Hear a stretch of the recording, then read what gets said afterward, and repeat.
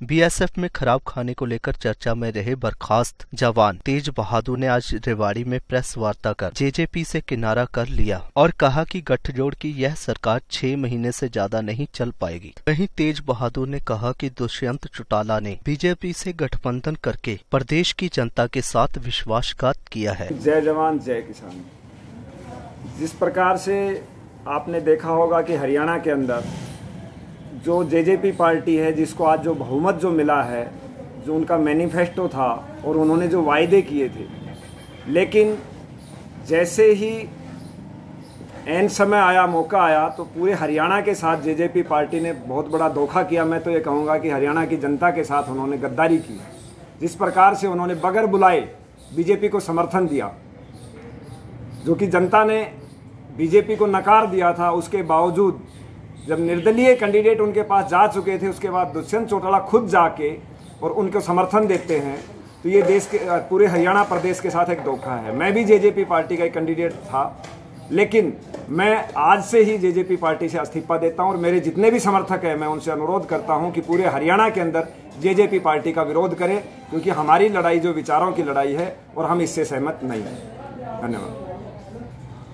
बदला लेना चाह रहे थे देखो भाजपा से कोई बैर नहीं था। भाजपा ने जिस प्रकार हरियाणा की जो दुर्दशा की है बेरोजगारी पे ले लीजिए आप महिलाओं पर अत्याचार ले लीजिए कर्मचारियों के ऊपर कितने अत्याचार लाठीचार्ज करवाया था उन सभी मुद्दों को लेकर दुष्यंत चौटाला जब पार्टी को लेके खड़े हुए थे तो वो देवीलाल का नाम लेके खड़े हुए थे।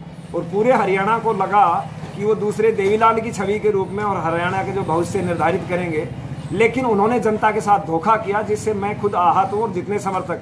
लेकिन मुझे बीच में भी कुछ अंदेशा हुआ था कि जेजेपी पार्टी कहीं ना कहीं बीजेपी की बी टीम है, जो कि करनाल में उन्होंने मेरे साथ इस चीज़ में साबित किया। करनाल के खुद भी जेजेपी के कार्यकर्ताओं ने मेरे खिलाफ वोट डलवाए, जो उसके कुछ एक आइडियो वगैरह इस तरह के लोगों ने, जो हमारे एजेंट थे, इन्होंने मेरे को कहीं पर भी कोई एजेंट तक भी नहीं दिया।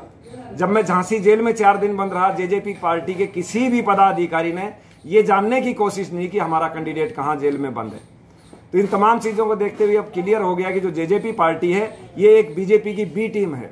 और ये हरियाणा के साथ छल हुआ है, धोखा हुआ है। इसका जवाब हम पूरे प्रदेश के युवाओं को लेकर इसका जवाब देंगे। हम के खिलाफ आंदोलन करना पड़ा। आंदोलन भी करेंगे प्रदर्शन भी करेंगे। जजपा ने जो अपने जितने भी समर्थक हैं उनके साथ ये इसीलिए तो मैंने ये प्रेस को सभी के साथ धोखा हुआ है और सभी आहत है। आप रात से देख रहे हो कि जेजेपी के जगह जगह पुतले जलाए जा रहे हैं झंडे जलाए जा रहे हैं और ये आंदोलन बहुत उग्र होगा।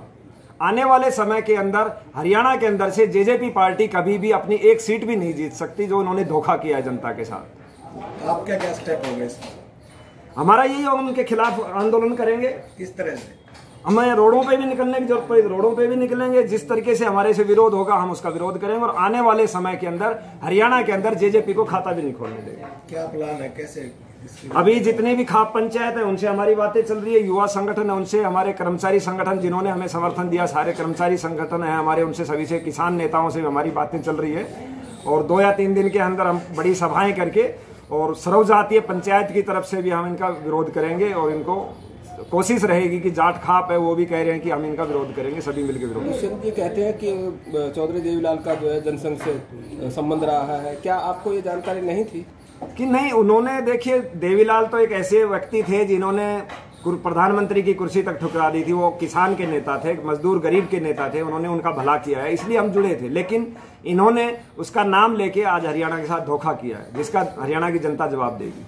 अभी आपने कोई बात हुई है हाँ सुबह ही मेरी जाट खापों से कुछ विचार हुआ है उन्होंने कहा कि जल्दी हम इसका फैसला लेंगे और खाप पंचायत है नहीं तकरीबन सरो जो खापे हैं सभी एकजुट होकर इसका निर्णय लेंगे। क्योंकि आपने देखा होगा कि जाट खापों ने निर्णय लिया था बीजेपी में जितने भी जाट नेता थे सभी को हरा दिया गया है। और उसका फ़ायदा दुष्यंत जी को मिला दस सीटें जो आई थी। अब इन्होंने धोखा किया है तो इसका जवाब दुष्यंत को भी देंगे हम सब मिलकर और सर्व जातीय हमारी खाप बहुत जल्द एक जींद में हम करने वाले सर्व जातीय जो खाप है वो भी करेंगे हम और उसमें भी इनका हम विरोध करेंगे। किस तरह से रणनीति तैयार करेंगे? अभी एक हफ़्ते के अंदर अंदर हम इसकी पूरी तैयारी कर लेंगे और इनका पूरा विरोध करेंगे। और जहाँ तक है कि सरकार ज़्यादा से ज़्यादा छह महीने ज़्यादा टिकने वाली नहीं है।